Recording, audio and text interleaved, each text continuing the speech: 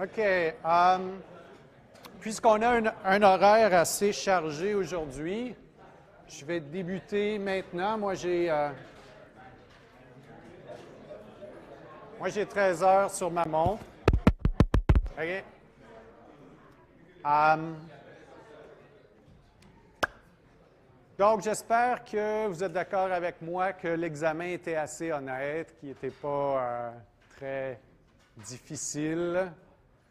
Je dois vous dire que ben, vous avez probablement la meilleure moyenne qu'on a eue ici jusqu'à maintenant. Um, par contre, est-ce que vous auriez eu cette moyenne-là si on avait eu certains des examens des ans passés? Oui? OK. um, donc ça, c'est vous autres. Vous avez l'air de ça.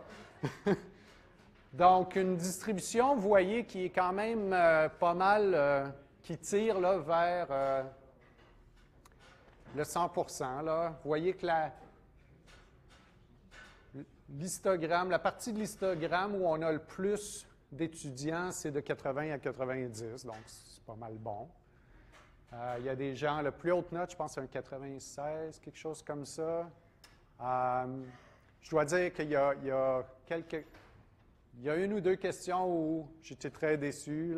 Je vais vous montrer ça dans une minute. Hum, donc, il y a 80 personnes qui, qui ont écrit l'examen. Vous avez euh, vos statistiques ici. La médiane, donc il y a 50% des gens qui ont plus que 74. La moyenne est à 70. Hum, on le voyait d'ailleurs que la, la médiane était élevée parce qu'il y a beaucoup de masse de ce côté-ci. Euh, c'est ça, la, note la plus haute est de 76% Comme vous le savez, le barème de correction ou le, barème dans le cours est tel que vous devez passer les examens pour passer le cours. Donc, si vous faites un petit calcul, il faut que votre note finale, votre note à l'examen final soit plus grand qu'un certain nombre qui est calculé à partir de ce terme-ci où M, c'est votre note d'intra. Puis, je vous ai fait un petit tableau ici qui vous dit quelle note vous devez avoir au final pour passer. Donc, on voit que si vous avez eu 10, 20, 30, il est assez utopique, à mon sens, de faire un saut puis de monter à 63 vers le final. Donc, je vous invite à me rencontrer pour discuter si vous êtes dans ces situations-là, puis vous voulez discuter euh, des scénarios, qu'on regarde ensemble votre examen. Ça va me faire plaisir qu'on se rencontre puis qu'on discute de ces choses-là. Ensuite, euh, peut-être parler, si on va chez moi, euh, examen. Donc, ici, vous avez la procédure. Ce qui va se passer, c'est je vais donner tous les examens aux aides à l'enseignement de mardi. Vous allez pouvoir voir votre copie avec eux. Ensuite, on va remettre la pile aux gens du vendredi. Puis l'idée, c'est que un à un, vous avez la chance de regarder votre copie. Si vous voyez, si vous détectez qu'on a fait une erreur de correction, vous prenez une feuille, vous écrivez votre nom, numéro d'étudiant, puis vous écrivez clairement la nature de l'erreur. Question 1, vous n'avez pas vu, j'avais écrit à l'endos de la page 2 un élément de réponse, vous avez retiré 2. Donc, un petit mémo clair pour indiquer la source de l'erreur. Le TIE va prendre ça, puis votre copie, il me le donne. Je regarde tout ça. Je vais attendre comme une semaine ou deux là, pour qu'on les ramasse, une semaine. Puis je vais tout corriger ça en bloc. Oui? Tu as une main là.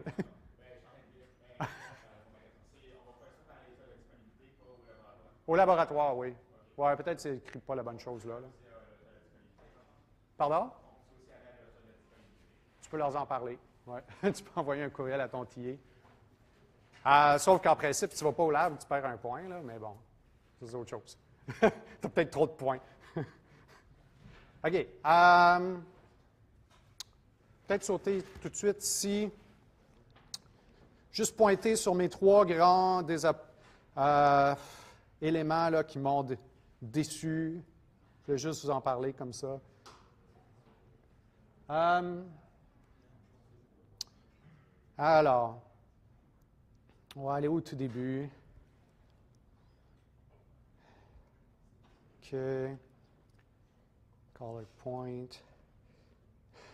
Ça, c'est ma première déception.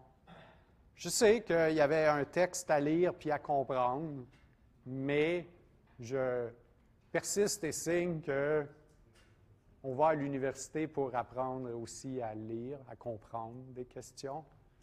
Donc ici, on vous disait, il y a un nuage de points. Ces points-là sont dans un tableau. Euh, trouver la zone, comment je l'avais appelé, bounding box en français, la zone de délimitation. Délimitation, euh, la plus petite, qui permet de contenir tous les points.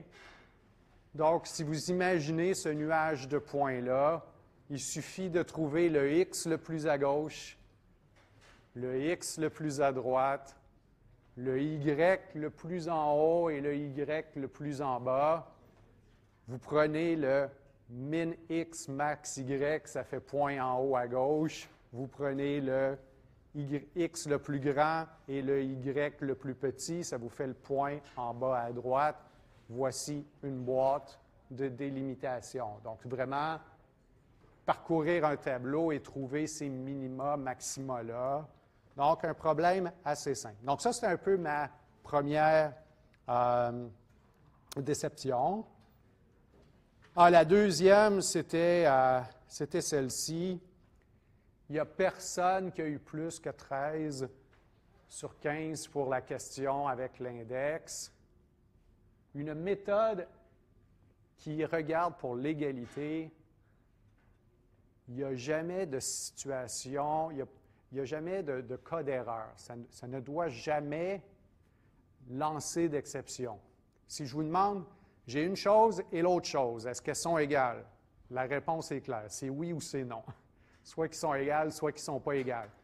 Donc, ce qui était super important ici, c'est si la valeur du paramètre est nulle, je suis dans un objet, other ne pointe pas vers un objet. Clairement, ce n'est pas égal. Value est une référence. Value pointe est à nul dans cet objet-ci, est à nul dans l'autre, c'est bon. Value est à nul dans cet objet-ci, n'est pas nul dans cet objet-ci, mais est nul dans l'autre, c'est pas égal. Donc, c'était ça les deux, les deux éléments, de vérifier est-ce que other est nul, est-ce que celui-ci est nul, d'utiliser égal égal pour les primitifs et d'utiliser dot equals pour des références. C'est ma deuxième déception. Celle-là, je l'aimais beaucoup, cette question-là. Comme je vous ai dit, c'est celle-là que j'ai rêvé, puis je me suis levé à 6 heures du matin, j'ai sorti mon laptop, j'ai codé tout ça. Euh, donc ici, c'était celle-là. J'avais fait une version, une petite expérience qui était une expérience qui se voulait être simple, simplifiée, beaucoup plus simple que Birthday Paradox. Puis là, vous avez utilisé des tableaux, vous avez fait des suppositions incroyable. Alors que c'était simple, là. Je génère une chose, j'en génère une autre, ne sont pas pareils. Bien là, celle-là est plus utile. Celle-ci, elle s'en va là. Je génère une autre chose, est-ce qu'elle est égale à la dernière ou pas? Non, celle-là est plus utile, je prends elle, je la mets là, j'en génère une autre pour là. Sont-ils égales? Non. J'oublie celle-là, je mets elle là j'en génère une autre. C'était vraiment simple, simple, simple comme truc, pas besoin de beaucoup de mémoire, deux variables. Donc ça, ça c'est important, c'est de la résolution de problèmes. c'est pour ça qu'on va vous embaucher, on va vous donner 140 000 par année pour faire des choses comme ça. Fait que prenez le temps de... C'est des questions justement d'entrevue euh, dans des boîtes comme Microsoft, Google. On va vous donner des petits problèmes à résoudre comme ça. Donc c'est important de s'habituer à résoudre ces choses-là. OK, fait que ça, c'est pour mon blabla à moi. Euh, où est-ce que je vais aller? On va rester ici, on va pas aller dans mes courriels. Avez-vous des questions pour moi avant qu'on débute nos, nos trucs? Oui.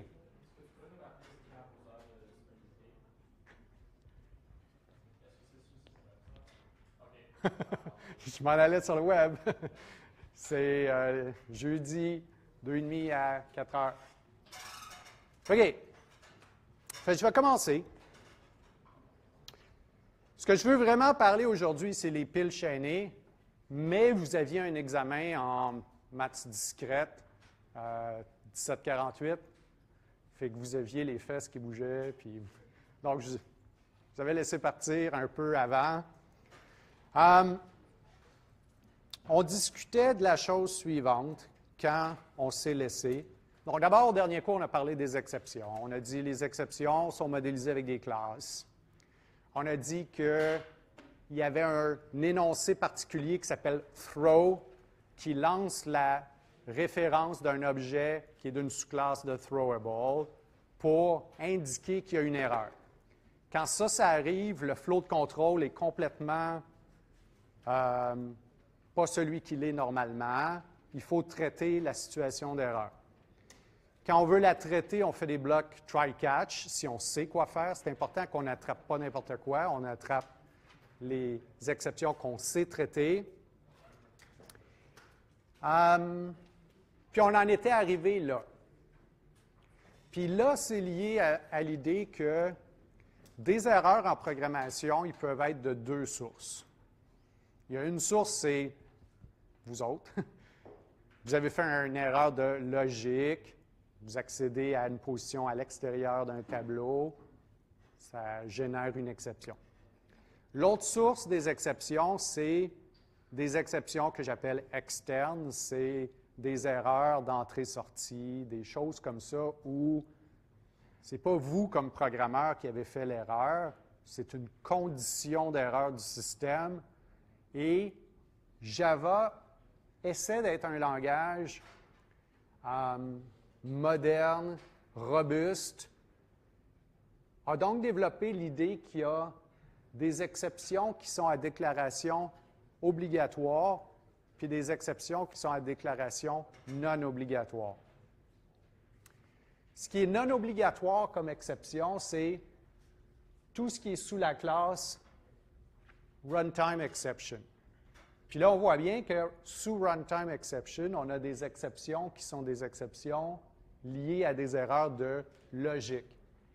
Index out of bound exception, null pointer exception, number format exception, arithmetic expression. Donc tout ça, c'est arithmetic exception. Tout ça, c'est des exceptions à déclaration non obligatoire. Les exceptions,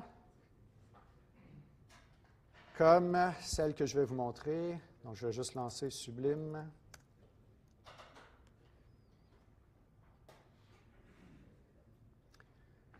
OK, donc, ici, si on regarde la documentation de la méthode read dans Java, ce qu'on va découvrir, c'est que la documentation dit cette exception, cette méthode-là, elle pourrait lancer des exceptions du type IO exception.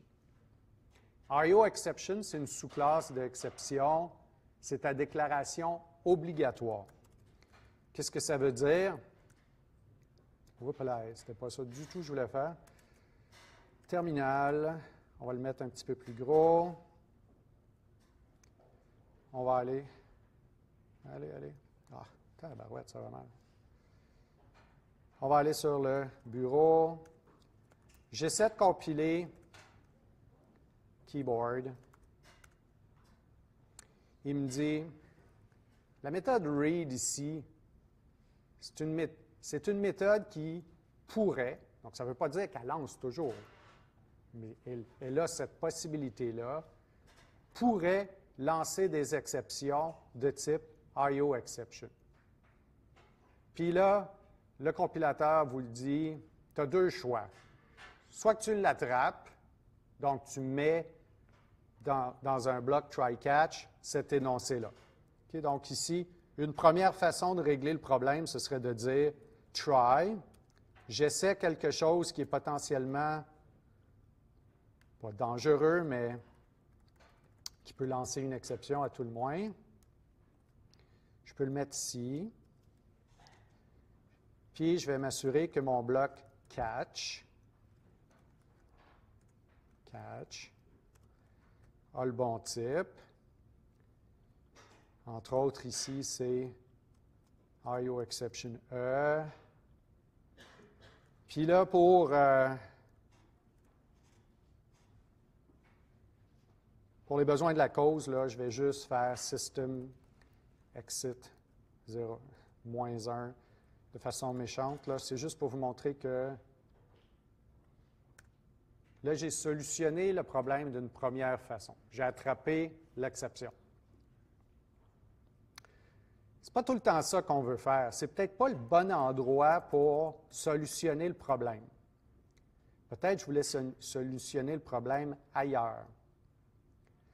Là, il nous disait, on peut déclarer une exception. Ah ouais.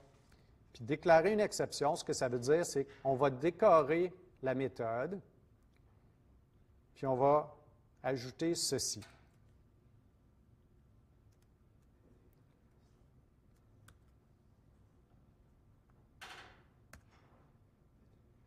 Ça compile à nouveau. Qu'est-ce qu'on vient de faire? J'utilise la méthode read. La méthode read pourrait lancer des exceptions de type IO exception. J'ai décidé que ce n'était pas l'endroit dans mon programme où je voulais les attraper. Comme je suis un bon collègue, j'indique aux autres programmeurs, attention, la méthode getInt est une méthode qui peut lancer des exceptions. Donc, on vient d'étiqueter, on vient d'ajouter de l'information on a dit la méthode getInt est une méthode qui, si on l'utilise, pourrait lancer des exceptions de type IO exception.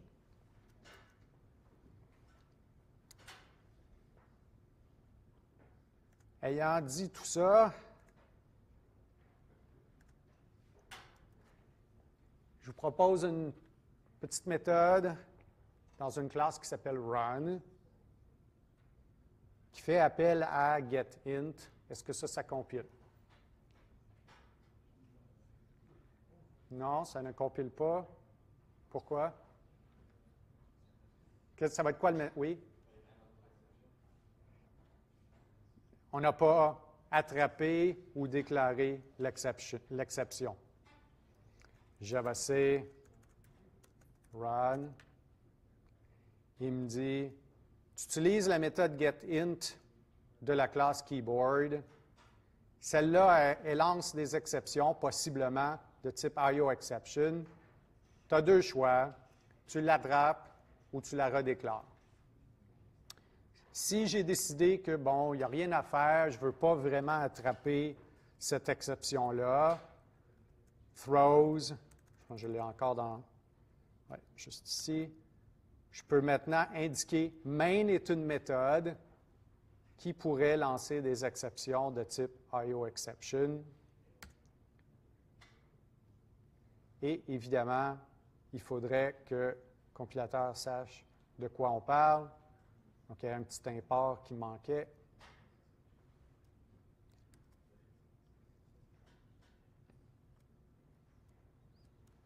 Comme ça. Et là, ça compile. Ça vous va, ça? Donc, si c'est des exceptions qui sont à déclaration obligatoire, le compilateur va refuser de compiler votre programme à moins que vous donniez votre solution. Vous dites, ma solution, c'est d'attraper ou ma solution, c'est d'étiqueter mes méthodes. Je ne vais rien faire, je vais laisser passer l'exception. Donc, ça peut vous sembler un peu étrange. Il faut juste réfléchir à c'était quoi l'intention des développeurs euh, de Java.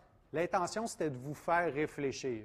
C'est de vous dire, tu utilises une méthode qui fait une lecture à partir du disque, à partir d'un clavier. Il pourrait y avoir des, des problèmes d'entrée-sortie. Puis là, il vous demande, qu'est-ce que vous allez faire s'il y a un problème? Donc, c'est impossible de compiler votre programme à moins que vous ayez réfléchi. Vous ayez dit Ah oui, s'il y a une erreur, je vais l'attraper, je vais probablement lire à partir d'un autre fichier, je vais réessayer une fois, peut-être je me permets de réessayer trois fois, après ça, je vais arrêter d'essayer. Donc, c'est vraiment ça qui est l'idée ici. C'est bon? Oui. Oui. Il y a vraiment. Il y a, si on peut il y a la solution où on déclare l'exception. On dit Je suis une méthode qui pourrait lancer des exceptions de type IO exception. Et l'autre approche, c'est de dire Je vais l'attraper si jamais elle est lancée, puis je vais faire quelque chose avec. Donc, catch IO exception E. Ici, je ne sais pas, ça pourrait être euh, n. OK, pour que ça marche, on va déclarer int n à l'extérieur. Ici, import java utile random comme ça.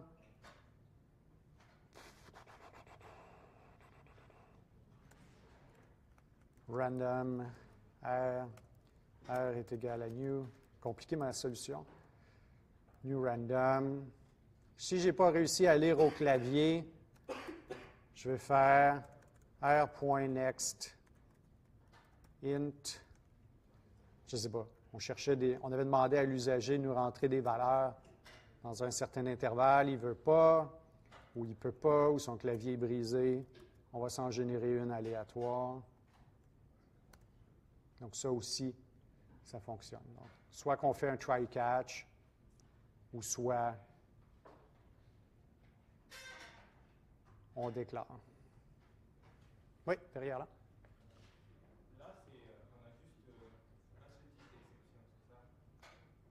Euh, on, pourrait, on pourrait déclarer plusieurs. Est-ce que... Ici, je pourrais avoir et exception, comme ça. Donc, on en met une liste de toutes les exceptions qu'on pourrait lancer. Il y, avait, avait une autre. Non, les, les, celles qui sont sous runtime exception, c'est j'utilise une variable référence. Ça se pourrait que j'ai un null pointer exception. Donc, imaginez si Java disait Hey, tu utilises une référence, je veux savoir ce que tu vas faire s'il y a un null pointer exception. Ligne suivante Oh, oh, tu utilises un tableau, je veux savoir ce que tu vas faire s'il y a un out of bound exception. Hey, tu es en train de faire une division, peut-être qu'il va y avoir une division par zéro, qu'est-ce que tu vas faire? Donc, on est heureux qu'on n'ait pas forcé de faire tous ces choix-là, mais c'est aussi des exceptions qui, si on fait bien notre travail de valider nos programmes, on devrait toutes les éliminer, ces erreurs-là, qui sont des erreurs de programmation et non pas des erreurs externes. Vous... Ouais? Oui? Ben, c'est tout simplement euh, une exception qui, euh,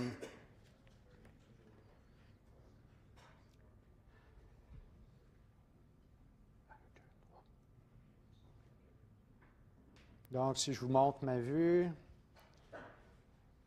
IO exception, c'est une, sous-classe directe de exception. C'est IO, ça veut dire input-output, entrée-sortie. Toutes les méthodes qui font des entrées-sorties, des lectures-écritures, vont utiliser ce type-là d'exception. C'est bon? Il nous reste juste une dernière petite chose à, à discuter. Si on veut soi-même créer des, nouvelles, des nouveaux types d'exceptions,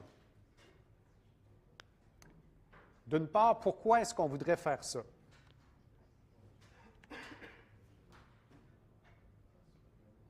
Pourquoi est-ce qu'on voudrait créer des nouveaux types d'exceptions? Pardon? Bien, c'est parce qu'on voudrait faire un block catch où on voudrait séparer un certain type d'erreur des autres. On peut imaginer, entre autres, que je suis en train de développer l'implémentation d'une pile. Il n'existe pas un, un type d'exception qui s'appelle Empty Stack Exception. J'aimerais être en mesure d'écrire des blocs try-catch où je pourrais dire je vais attraper les exceptions qui sont de type Empty Stack Exception. Donc, on crée des types parce qu'on veut les traiter, les gérer en isolation de façon séparée. Comment est-ce qu'on crée un nouveau type d'exception? Oui.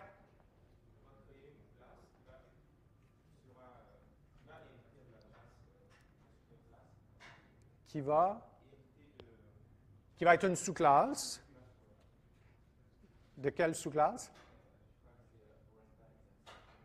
Bien, on va la connecter à un endroit dans la hiérarchie, un endroit logique. Donc, ici, peut-être que c'est extends runtime exception. et là, la, beauté, si on veut, ou la, la, simplicité de la chose, si je crée une classe, puis je, je fais en sorte que c'est une sous-classe de runtime exception ou l'une de ces classes, c'est une, exception à déclaration non obligatoire. Et si je la déclare comme étant une sous-classe d'exception, IO exception ou quelque chose qui, à l'extérieur de runtime, ça devient une exception à déclaration obligatoire.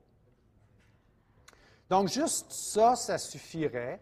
Ce serait une déclaration. On aurait créé un nouveau type d'exception. Euh, entre autres, je pourrais faire ici quelque chose comme si, ça va être un peu étrange, là, mais euh, enfin, args.length est égal à 0, throw new, puis là je l'ai appelé empty stack exception, comme ça. Si on essaie de compiler JavaC test, ah, public class test, qu'est-ce qui n'a pas fonctionné ici? Ah, public, public, OK. Ça compile. On peut vérifier à nouveau l'idée de à déclaration obligatoire ou pas obligatoire. Si je compile maintenant JavaC empty stack exception et que je recompile maintenant mon test, il me dit non, écoute, tu, tu lances une exception, elle est à déclaration obligatoire. Je reviens en arrière, j'ajoute runtime, Et maintenant, ça compile. Oui.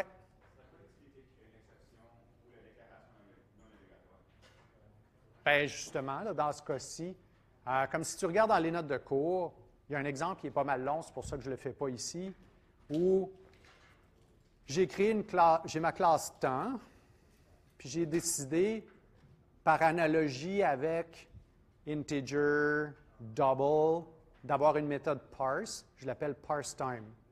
ParseTime reçoit une chaîne de caractères. Puis si la chaîne de caractères peut être interprétée comme heure, minute, seconde, je retourne un objet temps. Si l'usager m'a rentré des valeurs puis il manque les heures au début, je détecte la situation, oh, la chaîne n'est pas bien formatée, puis je lance comme exception time format exception, quelque chose de bien, bien clair. Um, ce qui permet à un usager d'écrire du code comme try, time, parse time, parse time, une chaîne, il y a une erreur, je demande à l'usager de rentrer à nouveau le temps ou quelque chose comme ça. Donc, c'est vraiment pour avoir un, nouveau bloc try-catch qui sépare bien les autres types d'erreurs de celui qui est um, time format exception. C'est bon? Puis normalement, la seule chose qu'on ajoute ici, c'est deux constructeurs. Donc, on devrait avoir empty stack exception comme ça, qui fait tout simplement super. Puis, empty stack exception, string, message, comme ça, puis qui passe à la superclasse le message. Donc, ça, c'est la déclaration typique d'un nouveau type d'exception. Ça vous va? Super. C'est tout ce que je voulais dire avec les exceptions. Ah, OK. Donc, on va, je vais garder ça autour. Je vais changer de jeu de slides. Puis on va parler d'implémentation des piles chaînées. Donc ça, donc, on parle de toutes sortes de sujets dans le cours. Il y a des sujets qui sont plus importants que d'autres. Les exceptions, ils vont assez bas dans ma liste. C'est important pour programmer, mais, mais comme concept fondamental, pas tant que ça. Structure chaînée, ça va peut-être comme au plus haut de ma liste.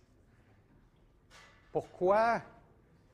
Parce que tout le reste de votre carrière, de toute votre vie, si vous décidez de programmer toute votre vie, vous allez utiliser des références pour créer des structures de données. Des structures de données qui vont peut-être être compliquées comme des graphes avec toutes les villes, des structures arborescentes comme les arbres binaires de recherche qu'on, on va parler comme dernier sujet. Arbre binaire de recherche, une structure tellement incroyable qu'on va pouvoir mettre un péta d'informations dans une structure de données. On va poser une quarantaine de questions, c'est pas beaucoup 40, puis on va répondre à la question est-ce que cette clé-là se trouve dans la structure ou pas? Donc, on va créer des structures de données extrêmement efficaces en termes de nombre d'accès à la structure de données. On va créer tout ça avec des références. Donc, c'est pour ça que dans les premiers cours, j'ai tellement insisté avec les références.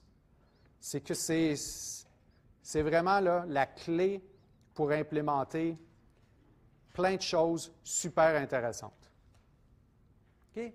Donc, je vais commencer par critiquer un peu l'implémentation qu'on a fait de la pile à l'aide d'un tableau. Pour mettre l'accent sur quelque chose qui est assez important,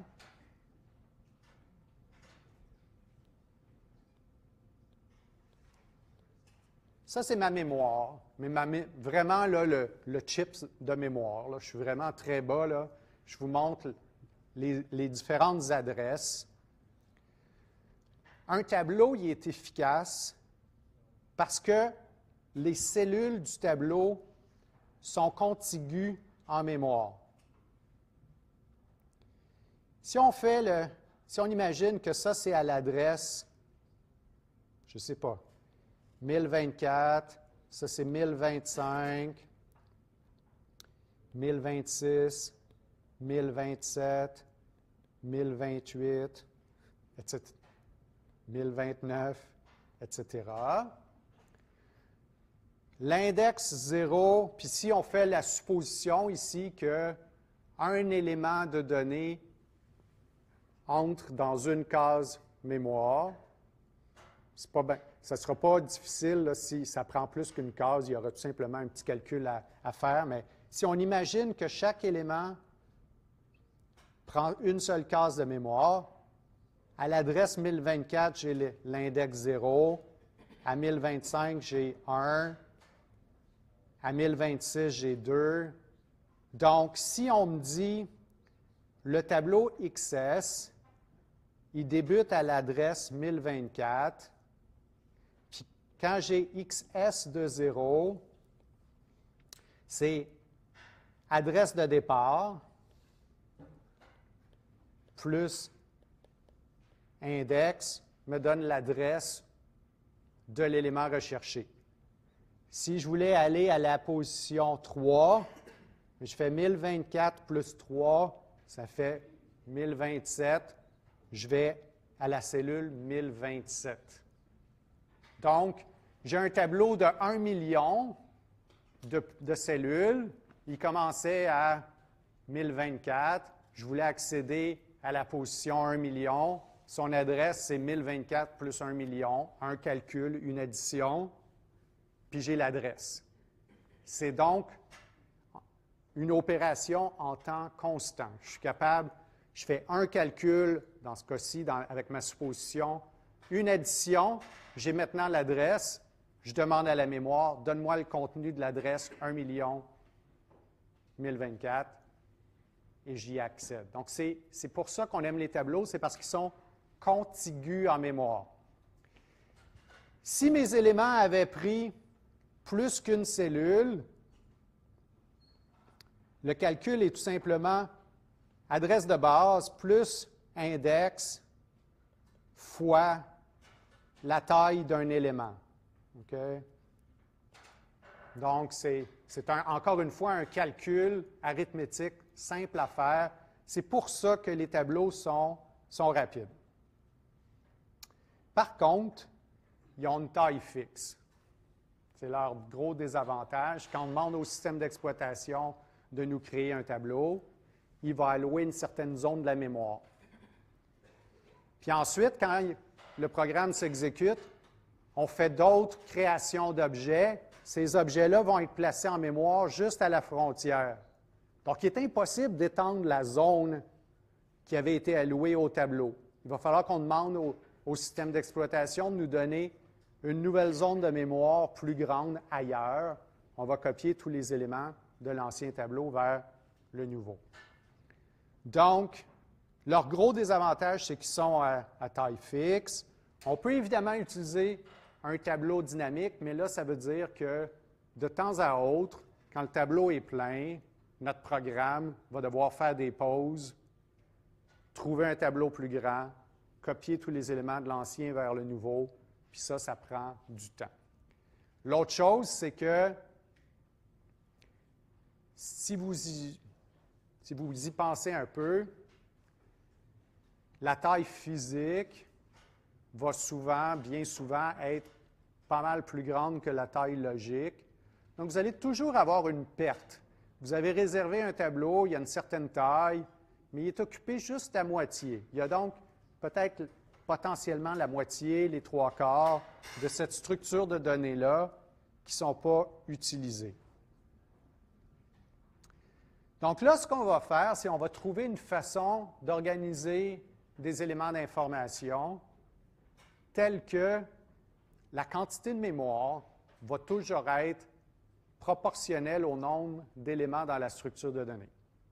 Il va toujours y avoir on va toujours consommer exactement le bon nombre d'unités de mémoire pour stocker les informations souhaitées.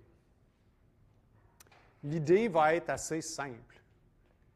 On va avoir des contenants dans lesquels on va pouvoir mettre une seule, un seul élément d'information, puis on va joindre ces contenants-là les uns aux autres. Il va donc y avoir un, une espèce de train de, de conteneurs d'informations, puis ils vont être liés les uns aux autres. Cette technique-là va faire qu'il n'y aura aucun recopiage qui va être nécessaire. Euh, puis dans le cas des piles, vous allez voir que l'accès va toujours être extrêmement rapide on va être capable de le faire en temps constant. Donc, ça va être une, une belle euh, réussite. Puis pour l'instant, on va se limiter aux structures qui sont linéaires, qui vont être des, des chaînes. Mais quand on va parler des arbres binaires de recherche, on va reprendre la même idée, mais on va créer des structures en arborescence.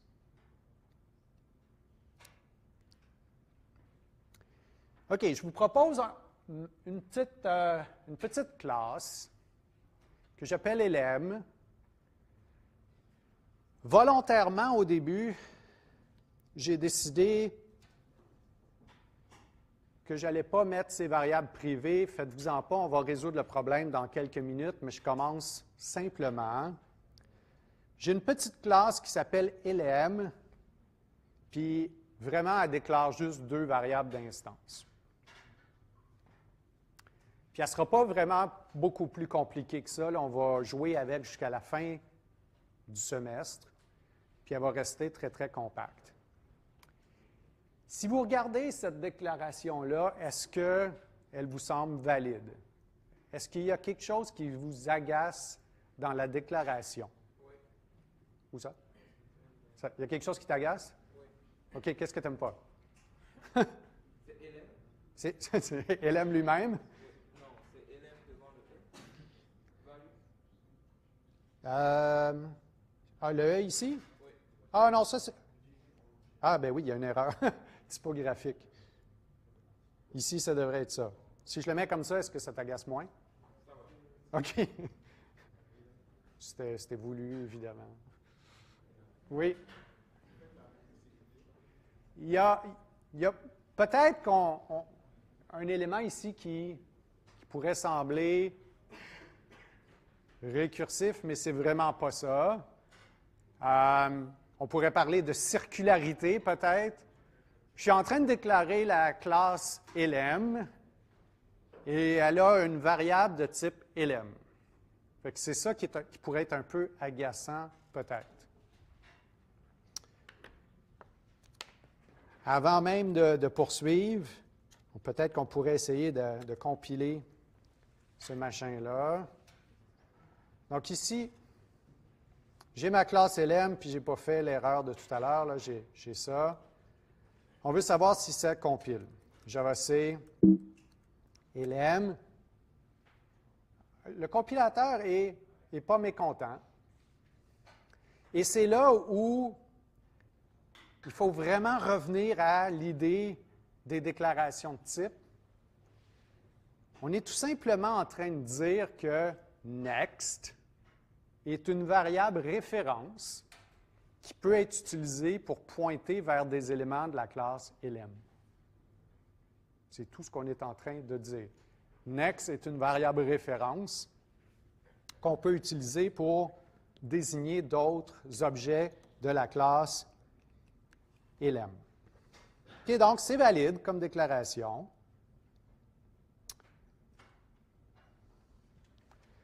OK, donc, je peux, ici, là, je vais continuer avec le crayon parce que c'est pas mal plus intéressant, je trouve, de dessiner. Donc déjà, je peux déclarer P de type LM. P, c'est une variable référence qui peut désigner un objet de la classe LM. Ça vous va, ça? Pas trop, euh, pas trop pire. Je peux créer un objet de la classe LM. Donc, new. Là, new. LM, ça possède quoi? Ça possède deux variables d'instance. L'une, c'est, je pense, value, et l'autre, c'est next. Les objets LM, je vais en dessiner des centaines d'ici la fin du semestre. Donc, j'ai une notation qui me permet de les dessiner rapidement. Un objet de la classe LM, c'est un cercle. Il y a deux parties. La partie du haut, c'est sa variable value. La partie du bas, c'est sa variable next. Comme ça, je ne vais pas à chaque fois écrire next puis value. On s'entend. Vous voyez quelque chose de rond. C'est un objet de la classe LM. Ce qui est en haut, c'est value. Ce qui est en bas, c'est next. Comment est-ce que je fais pour faire pointer P vers ça? P est égal à nous LM. Oui? Ça vous va, ça?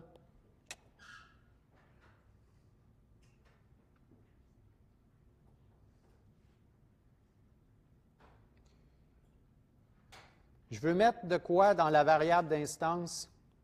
Value. Qu'est-ce que vous me proposez? Pardon? Je veux mettre, mettons que c'est euh, des objets chaînes que j'ai. Donc, avec le diagramme de mémoire que j'ai là, je veux savoir, je veux un énoncé Java qui va me permettre de mettre un objet ici,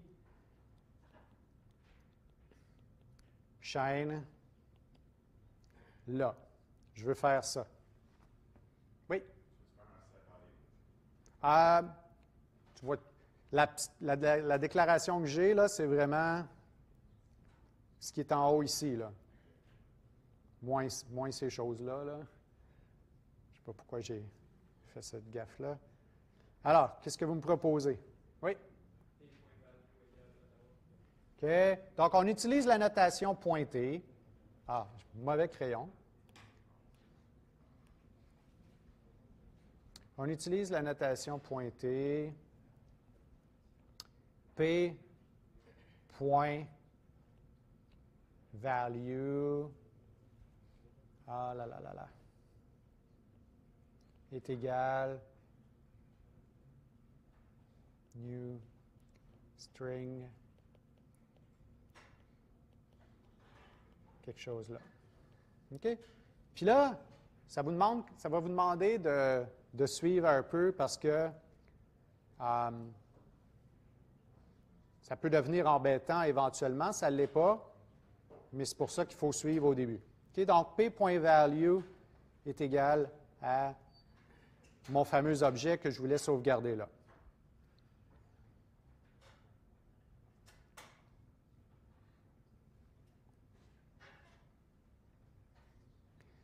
Là, j'ai créé un nouvel objet LM. Est là. Je veux créer cette connexion-ci.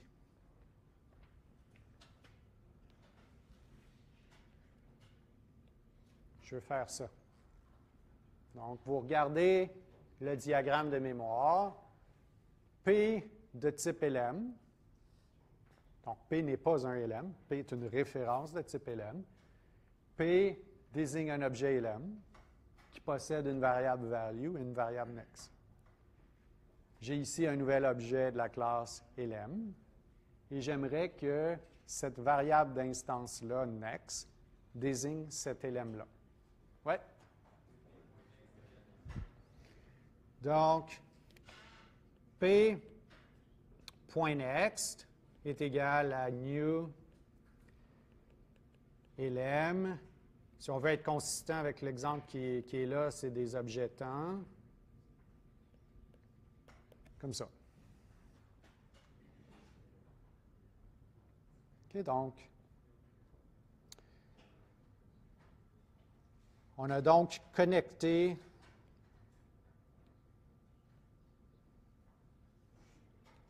les objets. Donc, P désigne cet objet-là qui possède une variable next. C'est celle-là qui reçoit la référence de l'objet qui vient d'être créé. Vous avez deviné la prochaine question. On veut mettre de quoi ici?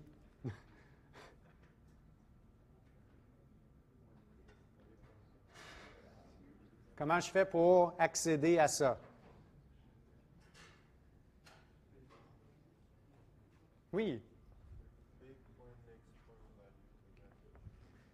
P.next point value égale ce qu'on va y mettre. Donc, P pointe vers cet objet-là. Sa variable d'instance next pointe ici. Et cet objet-là possède une variable value. P.next point value est égal à quelque chose.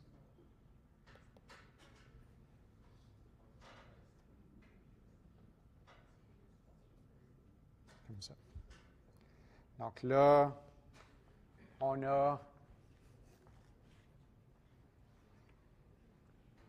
a déposé quelque chose dans cette cellule-là. Une autre fois, j'ai créé un nouvel LM. Et je voudrais le connecter à la fin de cette chaîne-là. Je voudrais donc faire cette connexion-ci. Peux-tu proposer euh, P.next, son suivant est là, est égal, est égal à un new LM.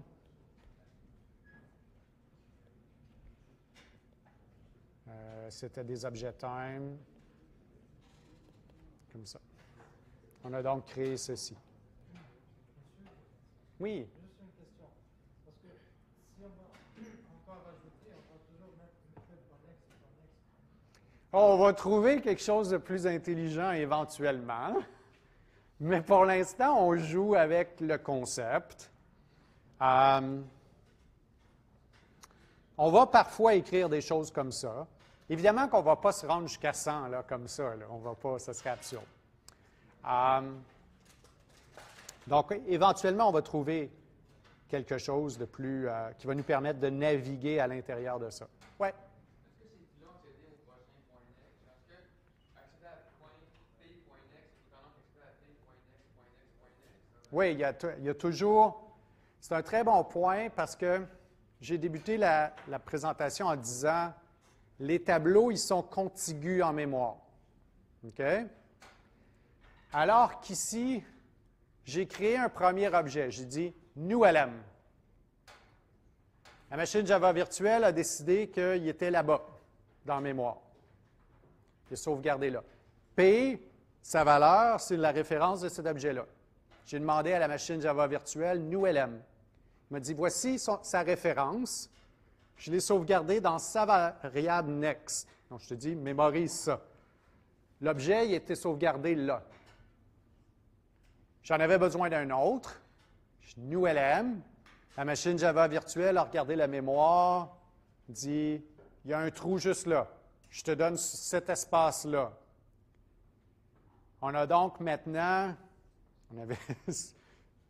moi je pointais vers lui, lui pointait vers là, et lui, sa variable next va pointer vers cette autre chose-là. Donc, ces éléments-là ici semblent linéaires, mais en réalité, dans la mémoire, ils sont alloués un peu partout et il y a, une façon de traverser, de naviguer. À partir de P, je peux me rendre au premier objet. Je peux regarder, je peux lire la variable next. Je vais me déplacer en mémoire, aller à cet objet-là. Je vais regarder c'est quoi ta valeur de next? Il me dit c'est ça.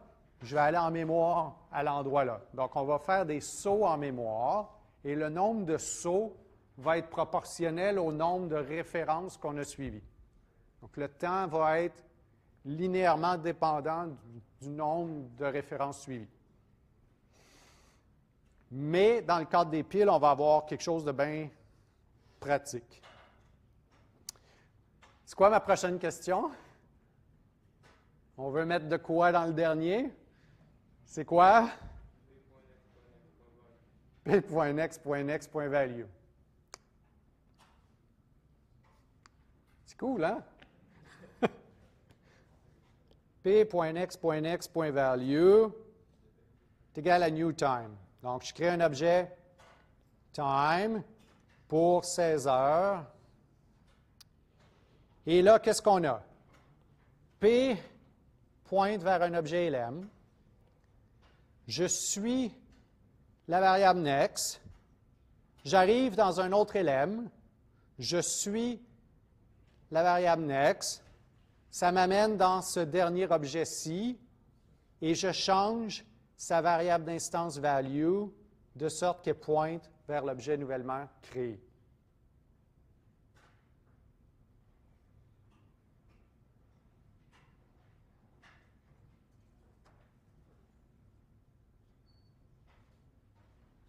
Quelle est ma prochaine question?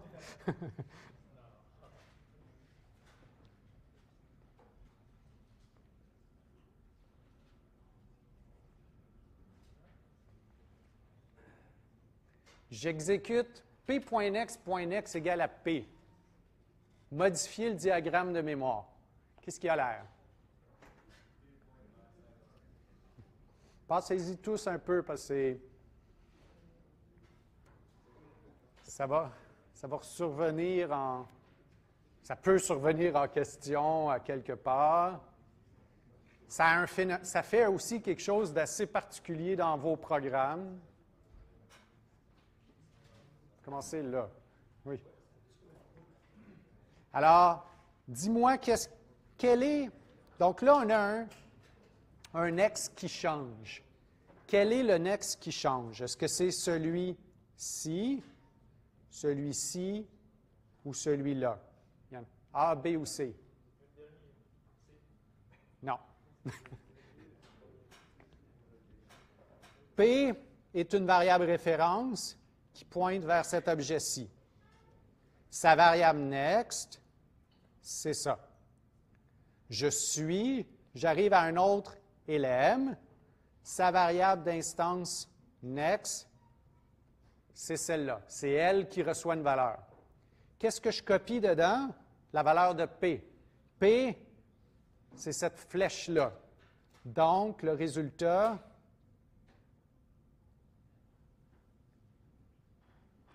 P et P.next.next sont maintenant égales, pointent tous les deux vers le premier élément. Je vais effacer un. en fait, je peux vous amener le dessin qui est lisible. Ça donne ceci. Donc là, on a, créé une structure circulaire. Dans trois, quatre semaines, on va faire des structures circulaires, mais au début, on va commencer avec des structures linéaires. Comment j'accède à l'élément qui a la valeur 16 heures?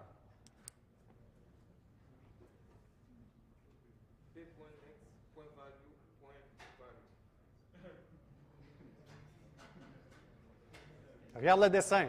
Est-ce que tu vois des. Est-ce que tu vois un trait entre ça et ça? Non? Il est maintenant impossible. On a perdu. Ce dernier élément-là n'est plus accessible. Le diagramme le montre bien. Il n'y a pas de flèche, il n'y a pas de chemin qui va jusqu'à cet élément-là. Le ramasse-miette va le récupérer. Oui? Il est encore disponible en mémoire. Non. Il ben, le garbage collector, il, il, attend, puis quand il voit que la mémoire est trop il manque un peu de mémoire, il sort le balai, fait du ménage, puis là, il récupère les espaces mémoire. Donc, ce n'est pas instantané, c'est à des moments fixes que ces choses-là arrivent. Donc, vous avez vu la base de ce qu'on va utiliser pour créer des structures chaînées. Donc, dans quelques minutes, l'idée va être de créer des piles avec ça. Euh, ce qui est merveilleux avec cette idée-là, c'est que la quantité de mémoire va toujours être proportionnelle au nombre d'éléments. Je fais un push, j'ai besoin d'un nouvel élément, je le mets, je le connecte à mon petit train de conteneur.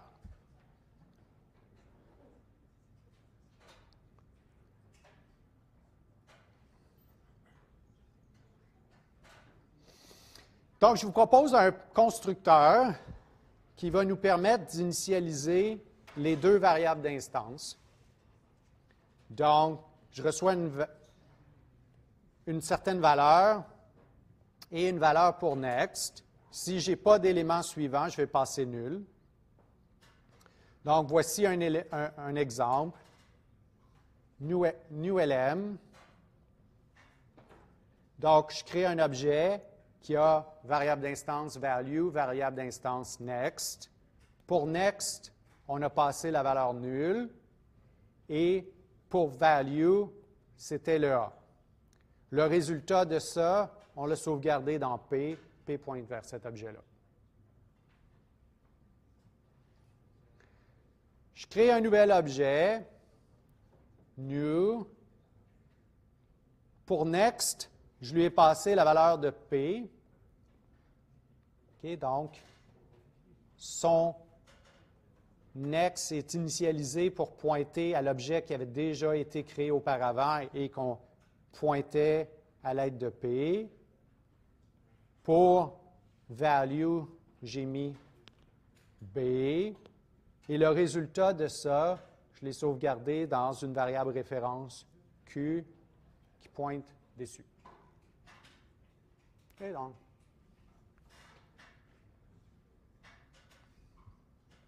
On implémente une pile à l'aide de. On va implémenter notre pile à l'aide de cette idée-là. J'ai besoin d'une une ou plusieurs variables d'instance. Qu'est-ce qu'on me propose? Oui. Euh, Est-ce que ce sera next et value?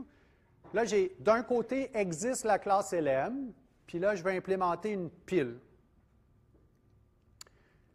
J'ajoute un nouvel élément, j'ai besoin de créer un LM. Et maintenant, la pile doit se souvenir de cet objet-là. Donc, pour moi, c'est soit top ou bottom. C'est une référence de type LM qui va désigner cet objet-là. Pardon? Il n'y a pas de tableau ici. C'est une alternative au tableau. C'est vraiment deux mondes opposés.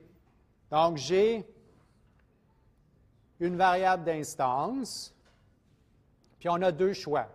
C'est top ou c'est bottom. Son type, ce sera clairement LM. Donc, j'ai un objet de la classe linked stack, linked stack, possède une variable d'instance de type LM. Ça va ressembler à ça éventuellement. L'idée, ça va être l'objet link stack, au lieu d'utiliser un tableau, va utiliser des LM, un nombre proportionnel au nombre d'éléments qu'il y a dans la pile. Donc là, je vous propose en haut à droite une certaine pile qui contient 6 est en dessous, 2 est au milieu et 3 est l'élément du dessus. Il y a évidemment deux représentations possibles en mémoire. Soit qu'on a décidé qu'un objet link stack, donc ça ici c'est un objet de la classe linked stack, soit que sa variable d'instance c'est top ou soit que c'est bottom. Peut-être que ça n'a pas d'importance. Peut-être que les deux sont de bonnes implémentations. Ou pas. oui.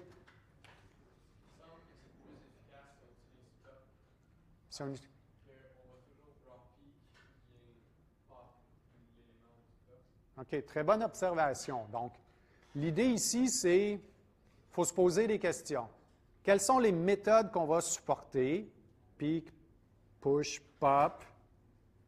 Et quel va être le temps de calcul pour chacune de ces méthodes-là?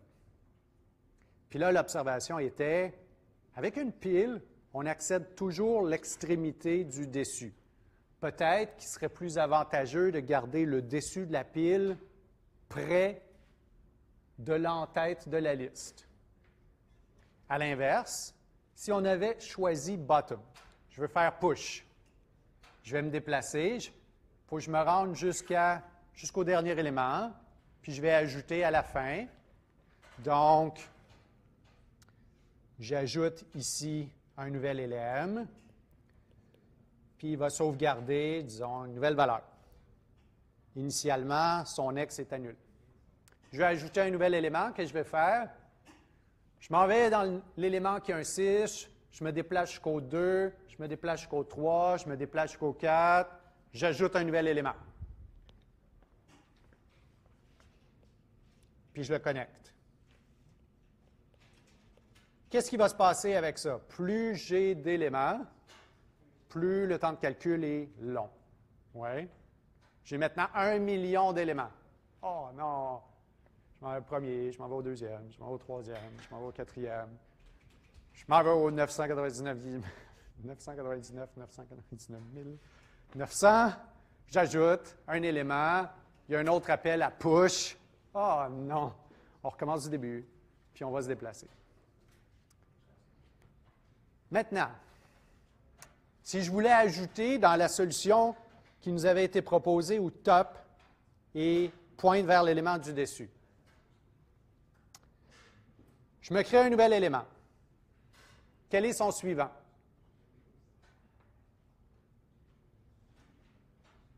Oui. Celui qui était l'élément du dessus. Quel est le nouvel élément du dessus? Celui-ci. Je vais en ajouter un autre. Je crée un LM. Quel est son suivant? Celui qui est présentement l'élément du dessus. Qu'est-ce que je fais à top?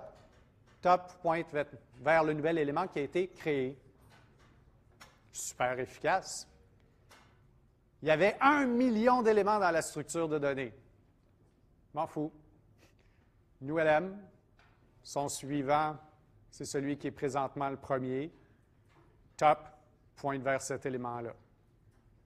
Indépendant du nombre d'éléments qu'il y a dans la structure de données.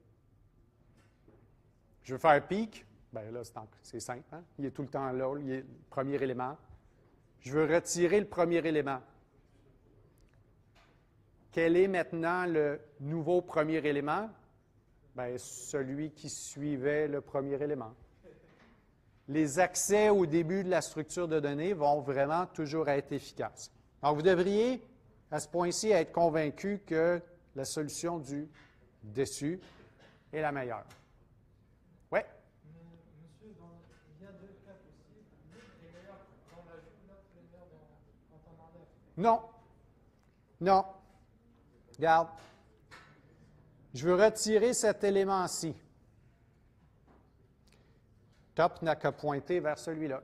Le suivant du, premier. Mais c'est ça une pile. C'est ça une pile. C'est ça une pile. Une pile, on ajoute toujours à une seule extrémité. Mais moi, je parle juste de la pile. je parle juste de la pile. On va inventer plein d'autres choses dans les trois prochaines semaines, mais pour l'instant, on parle d'une pile. Une pile, on accède toujours au-dessus. Ajout-retrait, toujours efficace.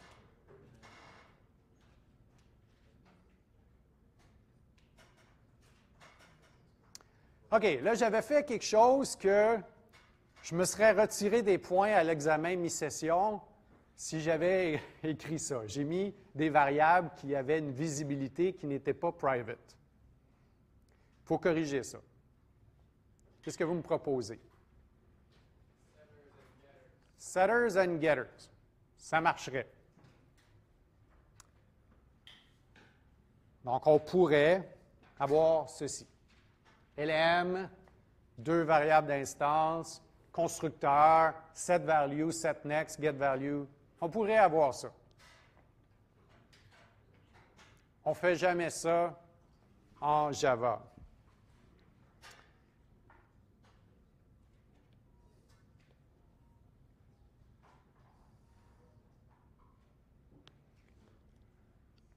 On peut déclarer une classe à l'intérieur d'une autre. On appelle ça une classe imbriquée. Donc là, l'idée est la suivante. Moi, en tant que programmeur, je voulais implémenter une pile. J'ai eu l'idée que je voulais utiliser des objets chaînés les uns aux autres. C'était mon idée. C'est pour mon implémentation de la pile. C'est un détail d'implémentation. Je peux le cacher à l'intérieur de la déclaration de pile. Donc, link stack déclare une classe imbriquée, LM. Elle est privée. Ce n'est pas de vos affaires, c'est moi qui ai décidé de déclarer cette chose-là. Je ne veux pas la partager avec vous. C'est ma classe LM, elle est à moi. Je ne vous, vous donne pas accès à cette classe-là. J'y déclare des variables d'instance value et x qui sont privées. Et ce qui va être intéressant, c'est que des méthodes push-pop, on aura quand même accès aux variables d'instance de LM. Donc, on n'aura pas besoin de setters, de getters. On va avoir accès direct aux variables d'instance. Je l'ai mis statique, puis c'est important que ce soit statique pour l'instant. Les LM, on va toujours les mettre statiques. Dans trois semaines environ, je vous expliquerai ce qui arrive quand on laisse tomber le mot-clé statique. Il y, a, un monde de possibilités qui s'ouvre. Je vous l'explique plus tard. Pour l'instant, ma classe LM, qui est déclarée à l'intérieur de LinkStack, elle se comporte de la même façon que la classe LM que j'avais déclarée à l'extérieur dans un autre fichier. Même genre d'idée, je peux créer des LM, j'accède aux variables, etc. Tout est simple. Y a-t-il quelque chose qui vous embête avec ça? Ou si ça vous va? C'est bon? OK, donc c'est une classe imbriquée.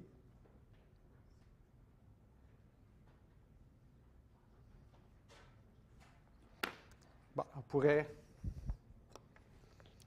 peut-être aller ici.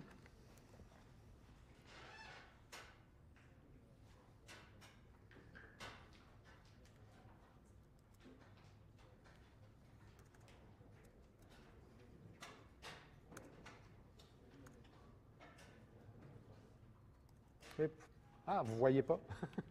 Moi, j'avais du fun. J'avais fini de programmer tout ça. Euh, private.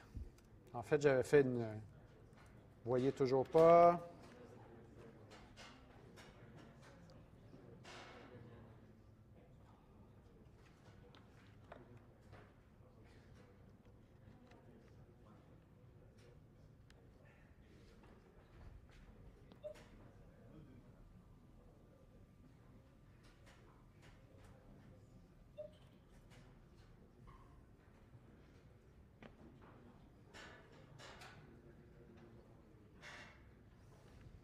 Non, ils ne plus parler. Bon, voilà.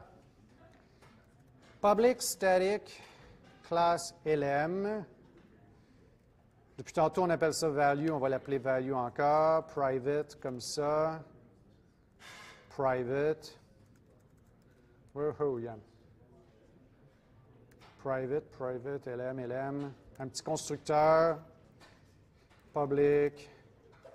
LM value lm de E next. Comme ça, this value égale value. This next est égal à next. Ça ici, ça va là. Qu'est-ce qui est public? Ça, lequel? Ah, merci. Public, non, private. LM. Il y a un petit truc ici qui est, je pense, important.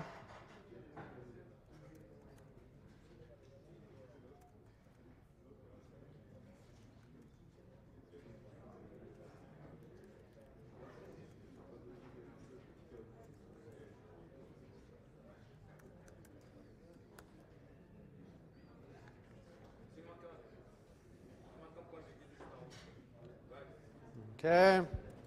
On va voir si ça compile. JavaC. LinkStack, ça compile. Donc, un petit élément ici que je trouve important, qui est,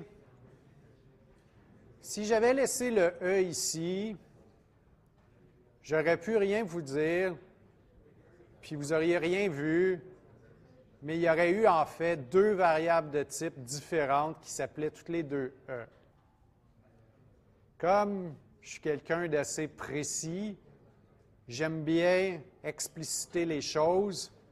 LM a son propre paramètre de type T. Les LM ont des valeurs de type T. Les NEX désignent d'autres LM de type T. Et maintenant, il y a le phénomène suivant. Link stack a son propre paramètre de type E. Et quand je déclare top, j'utilise la valeur de E reçue, puis je dis, je pointe vers des LM. Le paramètre T est maintenant associé à E. Vous voyez? Si on fait un exemple, new link stack pour string, T, euh, E devient string, je déclare top qui pointe vers un LM, je lui dis, moi, j'ai reçu string pour ma valeur de E, je te passe mon E, je te passe donc string, et les LM seront des LM pour string. Il y a deux types génériques en cause ici.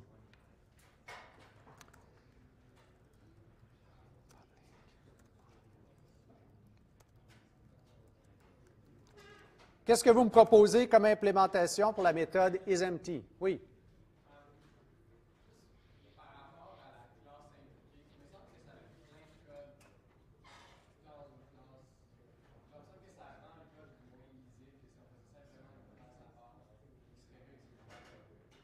Bien, elle ne serait pas nécessairement réutilisable. Si on pense aux collections de Java, il y a des arbres binaires de recherche, des tableaux de hachage, des listes simplement chaînées, doublement chaînées. Ils utilisent tous des LM.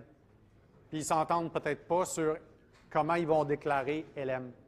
Fait que là, il y, aurait une classe qui dirait ben ça, c'est le LM pour les arbres, ça, c'est le LM pour. Là, on le cache, c'est un détail d'implémentation. Ça se trimballe bien. J'amène une seule classe puis j'ai tout qui vient avec. Euh, donc, c'est quelque chose qu'on utilise vraiment souvent comme idée. C'est un beau concept. Euh, puis on, va le réutiliser à plein, plein d'autres sauces. Euh, is empty. Ça a l'air de quoi une pile qui est vide? Qu'est-ce que ça veut dire, ça? Il n'y a rien dans le top.